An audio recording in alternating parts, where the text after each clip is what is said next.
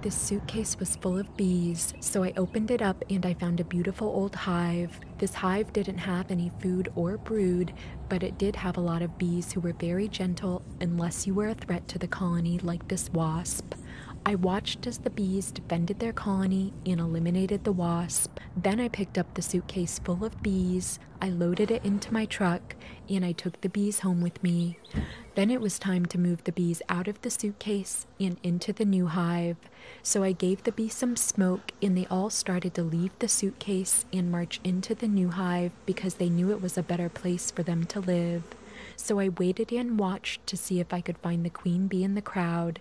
And when most of the bees were out of the suitcase, all of a sudden I saw the queen bee walking into the new hive.